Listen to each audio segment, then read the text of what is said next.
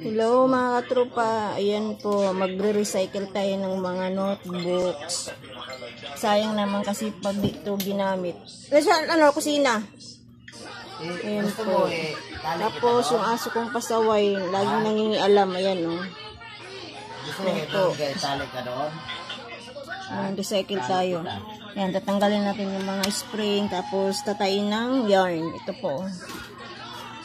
Yung nakaraang taon po, ito po akong nag-ano nito.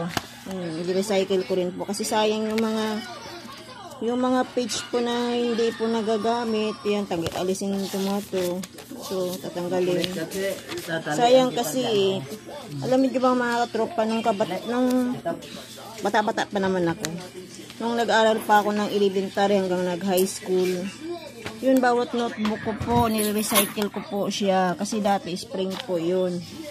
Tapos, minsan, yung ano, iba, tinatahi ko. Tapos, yung mga, may mga space po na ganito na di nagagamit, yun, pinagsama-sama ko yun sila.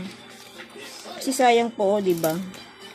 Mahal pa naman yung mga notebook ngayon yata. Sabi ng mga kasama ko nasa 55 ba yun? O mahigit?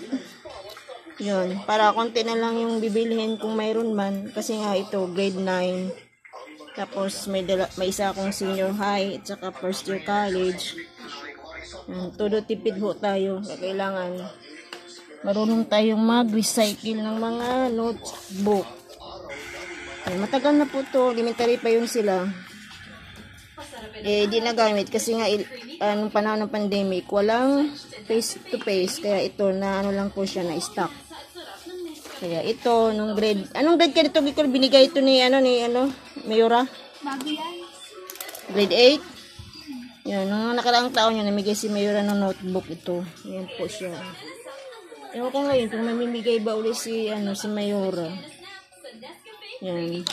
Yan po ang technique sa mga nanay na nagtitipid. Recycle lang po tayo ng mga notes natin. Yung ginagamit ng mga bata natin na di nauubos yung page. Yan, inaalis yung mga luma, yung kukunin yung mga wala pang sulat, tapos tatayin po natin. Yan lang po mga trupa, tips po sa mga nanay po yan. Just follow po me, Jin Romuga. Thank you and God bless.